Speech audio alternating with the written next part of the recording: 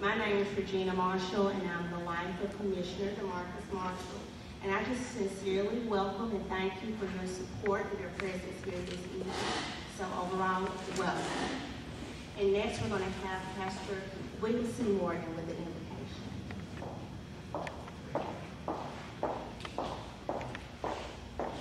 Let us pray.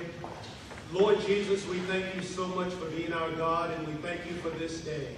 We also thank you for our salvation in Christ Jesus.